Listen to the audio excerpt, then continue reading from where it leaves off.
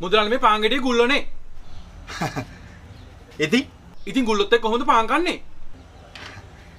ගුල්ලොත් එක පහන් ගන්න බෑ තමයි. සම්බෝලයක් හරි හොද්දක් හරි හදාගෙන තමයි ගන්න වෙන්නේ.